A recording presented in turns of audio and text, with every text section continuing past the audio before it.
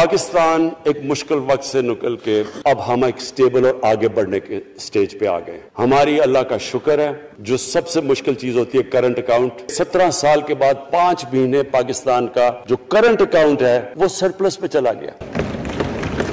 हमारे जितने मुल्क में डॉलर्स आ रहे हैं और जितने बाहर जा रहे हैं, अल्लाह का करम है, ज़्यादा डॉलर्स आ रहे हैं। हमारा रुपया खुद ही, हम पैसे नहीं लगा रहे इसको, खुद रुपया स्ट्रेंथ गेन कर रहा है। ये बड़ा इंपॉर्टेंट टाइम है। इसके बावजूद कि इस मुल्क में कोरोना हुआ, सारी दुनिया की इकोनॉमीज कोरोना में बुरी तरह मुतासर हुई। उसके बावजूद हमने मॉनिटर किया और जिस तरह हमने डेटा गैदर किया एक एक चीज़ फॉलो करके हमने जैसे अपने लोगों को बचाया। मैं खास तौर पर अपनी टीम यासद उमर और हमारी जो टीम थी डॉक्टर फैसल मैन को खास तौर पर खराज तहसीन पेश करता हूँ। तो उस मुश्किल वक्त से भी आप दुनिया में देखें और जिस तरह पाकिस्तान निकला। हमें ये कभी भूलना नहीं चाहिए कि ये पाकिस्तान क्यों बना था। वो एक अंग्रेज़ी का एक फ्रेज है कि नेशंस विदाउट विजन डाई कौम का जब अपना मकसद अपने नज़रिए से पीछे हटती है मर जाती है कौम। कौम किसी मकसद के लिए बनती है। हम अपने वो जब तक वो पता नहीं, हमें हम अपने बच्चों को नहीं बताएँगे।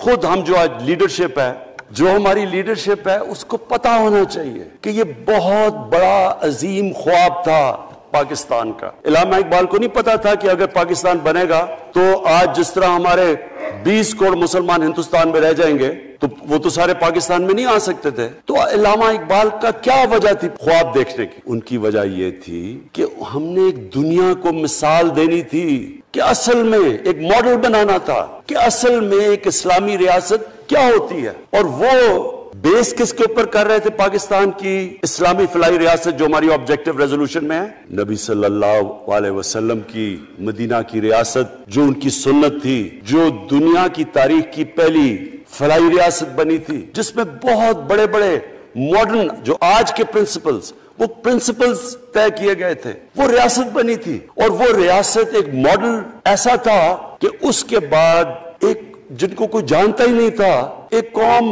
एक अरब कबीलों में तकसीम हुई हुई कौम, जिसकी हैसियत ही कोई नहीं थी, उन असूलों के ऊपर चलते हुए ये दुनिया की तारीख का मोजा है जो हुआ उसके बाद। एक कराप्ट आदमी, दुनिया में उसके ऊपर लिखा हुआ कि मिस्टर टेन परसेंट मजबूर लिखे हुए हैं, फ़िल्में बनी हुई हैं उसके ऊपर। और उस मुल्क में, लोग कहें जी, एक जरदारी सब पे भारी। क्या कि वो रिश्वत देता था इसलिए सब पे भारी हो गया। दूसरी तरफ़ यहाँ बैठे हुए हमारा लीडर नवाज़ शरीफ और नवाज़ शरीफ एक डाकू मुल्क को तीस साल से लूट के मुल्क से बाहर भागा हुआ है।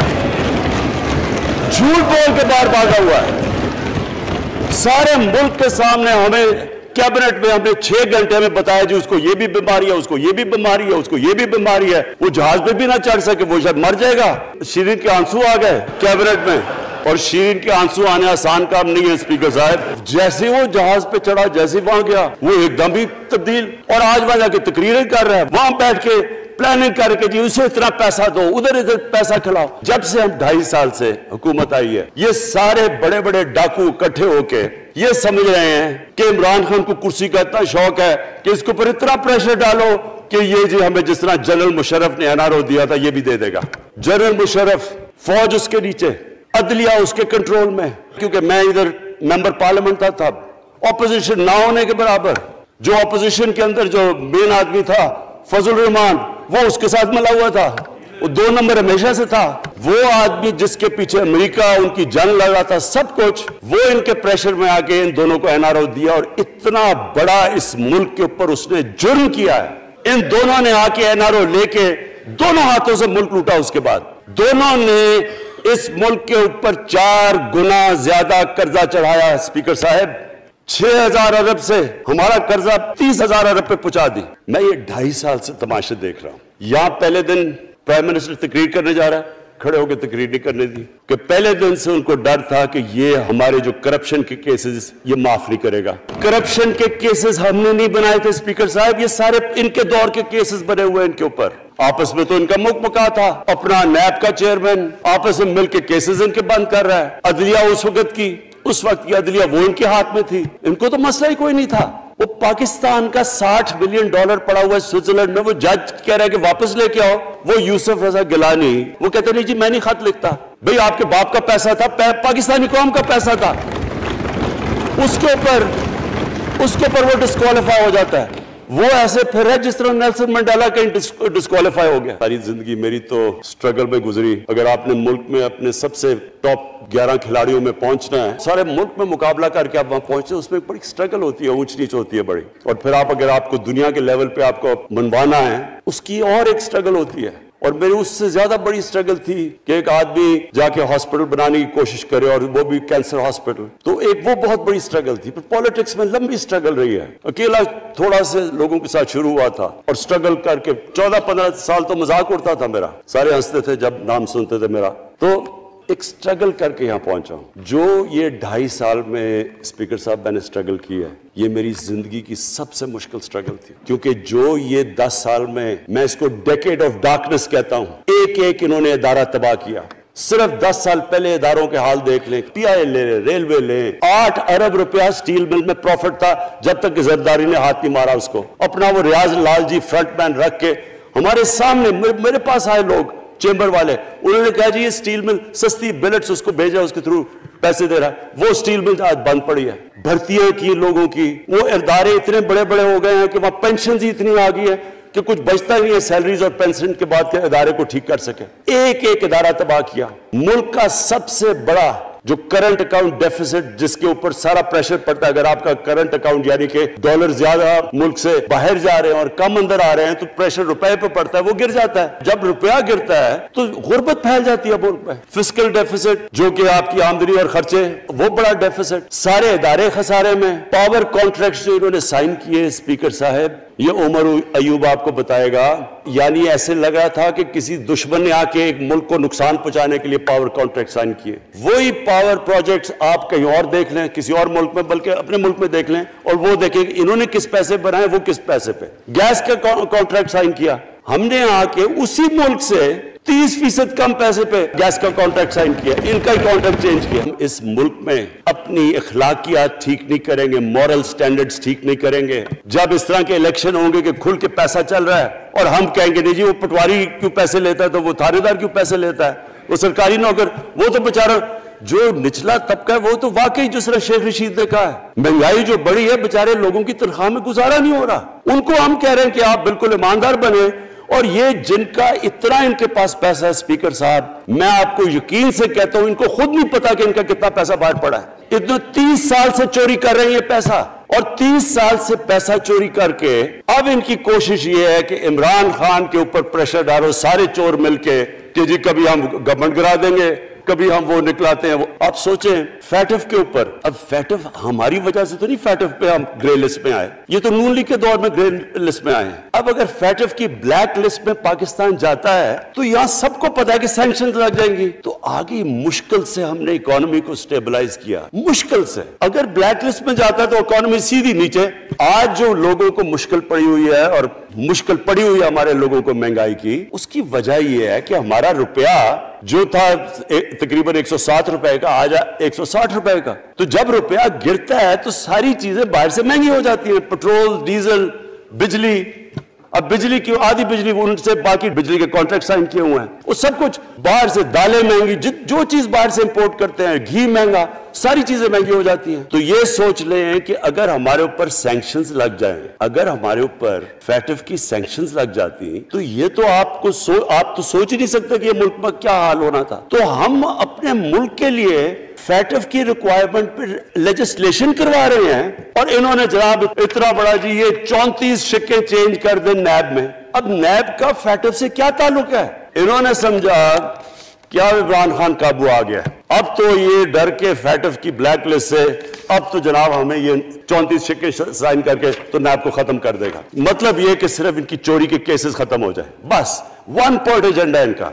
और मैंने आपको पहले दिन यहाँ से कहा था, पहले दिन यहाँ खड़े होकर मैंने कहा था कि इनका सिर्फ़ वन पॉइंट एजेंडा मैं इनको जानता हूँ, मैं इनको जानता हूँ जब ये सारे ऑपोजिशन में मेरे साथ थे। इनका सिर्फ़ एक खौफ है, ये एनआरओ नहीं देगा, लिहाजा इसको इतना ब्लैकमेल करो और अब फैटफ के ऊपर तो ये फंस गया है तो अब इसे इसे कंसेशन ले लो ताकि नैब खत्म हो जाए। अब सोचें, क्या इनको मुल्क का फ़िक्र है? क्या इनको नहीं पता था कि क्या होना है अगर फैटफ की ब्लैकलिस्ट पे चले जाते हैं? पाकिस्तान को आगे बढ़ने से कोई नहीं रोक सकता इन हमारे मुल्क में अल्लाह ने हर किस्म की नेमत दी है। इस मुल्क में जो पोटेंशियल है, शायद ही किसी मुल्क में इसका जो लोकेशन है जियो स्ट्रेटिजिक वो भी शायद ही किसी मुल्क के पास है। बारह मौसम अल्लाह ने दिए हुए हैं यहाँ ऊपर से लेकर नीचे तक। कुछ भी उगा सकते हैं। जखे ज़मीन है जिसको हम सही तरह इस्तेमाल नहीं कर पा रहे, क्योंकि हमारी सारी प्रोडक्टिविटी बड़ी कम है टेक्निक्स बड़ी पुरानी है। चाइना के साथ मिलकर उस तरफ़ भी हम जा रहे हैं कि अपनी प्रोडक्टिविटी बढ़ाने के लिए।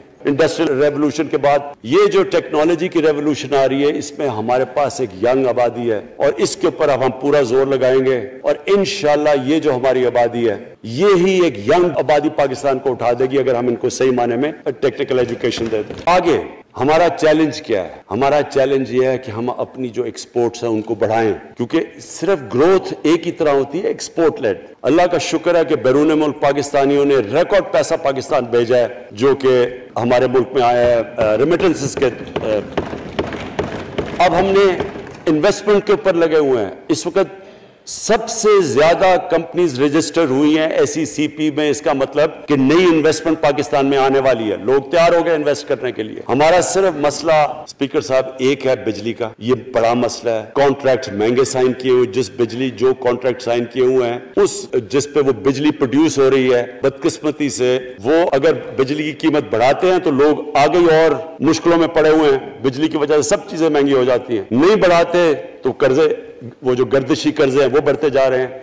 हमारा एक ये चैलेंज है, इसके ऊपर सिर्फ़ अपनी कौम को बताना चाहता हूँ कि बकायदा हम हर तरीका सोच रहे हैं कि हमने इसमें से कैसे हमने अपने लोगों के ऊपर बोझ कम करना है। एक तो मैं अपनी टीम को यह भी कामयाबी देता हूँ कि बड़ी देर और मुश्किलों से आईपीपी के साथ हमने नया कॉन्ट्रैक्ट साइन किया, जिसके अंदर बहुत पाकिस्तान का पैसा भी बचेगा और जो आगे जाके कर्जा बढ़ना था, वो नहीं बढ़ेगा। जो असल, जो मेरे ऊपर सबसे ज़्यादा प्रेशर है इस वक्त स्पीकर साहब, वो है महँगाई का। महँगाई मैंने आपको बताया भी दिया कि मसला एक जब आपके रुपया गिरता है तो जब चीज़ें महँगी हो जाती हैं, एक वो है। लेकिन मैं अपनी कौम को सिर्फ़ एक चीज़ कहना चाहता हूँ कि सबसे ज़्यादा इस वक्त मेरी हुकूमत एक ही चीज़ पे लगी हुई है कि हम किस तरह लोगों के ऊपर महँगाई का बोझ कम करें। इसके लिए हम बड़ी बड़ी चीज़ें आपके सामने लेके आएँगे आने वाले दिनों में जिसमें कोशिश ये है कि हम अपने मुल्क में जो सारा निचला तबका है, इनको सब्सिडाइज करें, अपने एहसास प्रोग्राम के ज़रिए इनको डायरेक्टली हम फंड करें। ये इनशाला आपके साथ आएगा। अभी मैंने एक्सपेरिमेंट एक और शुरू कर दिया, वो एक हफ़्ते तक अभी ट्रायल पे है कि हम एक प्रोग्राम लेके आ रहे हैं, कोई भूखा ना सोए। हमने खास किचन बनाए हैं एरियाज़ चूज़ किए हैं, जिधर सबसे ज़्यादा भूख है, ताकि हम कम अज कम जब तक हमारी मुल्क उठता है ऊपर। हम कम अज कम उन तक खाना पहुँचाए कि हमारे मुल्क में कोई भूखा ना सोए, और ये पूरी मैं कैंपेन शुरू करने लगा हूँ। हेल्थ कार्ड पंजाब के अंदर और पख्तूनख्वा में। पख्तूनख्वा की गवर्नमेंट को तो मैं खास मुबारक देता हूँ कि उन्होंने सारे अपनी बात सारे अपने पख्तूनख्वा के खानदानों को कवर कर लिया हेल्थ इंश्योरेंस से। ये बड़े बड़े अमीर मुल्कों में भी ऐसा नहीं होता कि हर एक खानदान के पास दस लाख रुपए की इंश्योरेंस होगी। किसी भी अस्पताल में जाके अपना इलाज करवा सके। मैं खास तौर पे महमूद खान और आपकी कैबिनेट को मुबारक देता हूँ। पंजाब क्योंकि बहुत बड़ा है, उन्होंने वो, उन्होंने भी फैसला कर लिया है। उस्मान बुजदार आपकी और आपकी टीम को मैं खास मुबारक देता हूँ कि इस साल के एंड तक वो सारे पंजाब के अंदर हेल्थ कार्ड पहुँचा देंगे ये एक आम आदमी के लिए सबसे बड़ी कम अज कम जैसे जैसे हम अपने मुल्क को उठा रहे हैं तो कम अज कम हम लोगों की बुनियादी जरूरियात पूरी करें। और और जो किसान हैं जी, किसानों के लिए एक बड़ा ज़बरदस्त प्रोग्राम लेके आ रहे हैं। इसके ऊपर भी हमने बड़ा ब्रेन की है कि कैसे हम किसान की मदद कर सकते हैं। प्रॉब्लम तो हमारे पास ये है ना कि जितना हम पैसा इकट्ठा करते हैं, आधा पैसा कर्जों की किस्तों पे चला जाता है। तो पैसा कम बचता है, लेकिन हमने फैसला किया किसानों के ऊपर हम खास ज़ोर देने लगे हैं, ताकि तो दो चीज़ें और जी। देखिए, मैं कौम समझती है ना कि अब हम कैसे ये जो कर्जे हमारे ऊपर चढ़े हुए हैं, इनसे कैसे निकलना इससे सिर्फ़ एक ही तरीका निकलने का, कि हम अपने मुल्क में दौलत के अंदर इजाफा करें वेल्थ क्रिएशन करें। इसके लिए हम क्या करने जा रहे हैं? इसके लिए हम हमने मेगा प्रोजेक्ट्स बनाए हुए हैं। एक है रावी सिटी, लाहौर। दूसरा, इस वक्त एक वॉल्टन के ऊपर एक एक हम बिज़नेस सेंटर बनाने लगे हैं, लाहौर का वो बहुत मेगा प्रोजेक्ट है। और फिर तीसरा जो है, एक एक एक जजीरा बंडल आइलैंड, कराची से थोड़े एक दो किलोमीटर के फासले पे। इनसे ये क्यों करने जा रहे हैं? मैं सिर्फ़ लोगों को समझे कि क्यों। एक तो ये हमारे शहर फैलते जा रहे हैं। जितना शहर फैलता जाएगा, ना आप उनको स्टोरेज दे सकते हैं, ना पानी दे सकते हैं, ना सफ़ाई कर सकते हैं। तो जो दुनिया के मॉडर्न सिटीज़ हैं, वो ऊपर जाते हैं। यानी वो बिल्डिंग ऊपर जाती है, बजाय अगर आप फैलते जाए तो मुश्किल हो जाता है सर्व करना। तो एक तो मॉडर्न सिटीज़ पहली दफ़ा बना रहे हैं पाकिस्तान में। इस्लामाबाद के बाद एक वो रावी सिटी वो बहुत ज़रूरी है। उससे लाहौर का जो पानी नीचे जाता जा रहा है वो वहाँ हम वहाँ बराज बना के पानी उसका बचाने लगे हैं। और दूसरा माहौलियात के लिए वहाँ हम बहुत बड़े पैमाने पे अर्बन फॉरेस्ट और दरख्त उगाने लगे हैं क्योंकि वहाँ लाहौर में बहुत बड़ा प्रॉब्लम है उसका। वही बंडल आइलैंड का भी मकसद ये है कि वहाँ सारा सीवरेज जा रहा है कराची का। उस, उसकी सीवरेज को ट्रीट करें और एक मॉडर्न सिटी बनाएँ बजाय कराची फैलते फैलते हैदराबाद पहुँच जाए। एक पूरी ऊपर सिटी बनाएँ जो एक मॉडर्न सिटी हो। तो लेकिन इसका असल मकसद ये है कि इससे पैसा जनरेट होगा। अरबों, खरबों रुपया हम जनरेट करेंगे और उस पैसे से हम फिर ये कर्जे वापस करेंगे। और दूसरी चीज़, बाहर से इन्वेस्टमेंट आएगी। बैरून मुल्क पाकिस्तानी, जो सबसे बड़ा मुल्क का एहसास है, वो बाहर आके वो इनके अंदर इन्वेस्ट करने के लिए तैयार है। इन बड़े बड़े प्रोजेक्ट्स के अंदर। और जैसे फॉरेन एक्सचेंज आएगा, हमारे रिज़र्व बड़े होंगे, हमारा रुपया स्टेबल होगा। और इससे जो वेल्थ क्रिएशन होगी, इससे हम फिर अपने कर्जे वापस करेंगे। उसके अलावा दो, पचास साल के बाद दो बड़ी डैम्स बन रही हैं। पाकिस्तान की तारीख में सिर्फ़ दो बड़ी डैम्स थी। अब ये दो और बादशाह डैम और मोमन डैम बना रहे हैं। हमने ये फैसला किया है इलेक्ट्रल रिफॉर्म्स का। हम अब टेक्नोलॉजी के ऊपर वो जो ईवीएम मशीन्स हैं इलेक्ट्रॉनिक मशीन्स लेके आएँगे।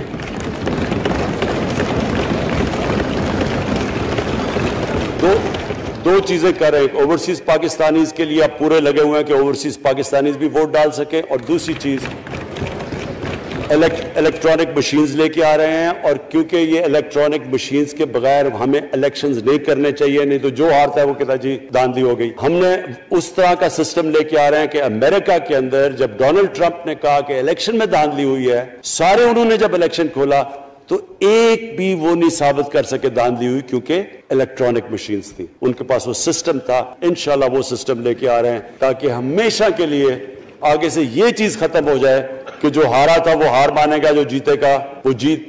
जिस तरह के इंशाल्लाह हमारी हुकूमत करेगी, जिस तरह के एज कैप्टन पाकिस्तान दुनिया की क्रिकेट की तारीख में पहली दफ़ा न्यूट्रल अंपायर मैं लेके आया था। बहुत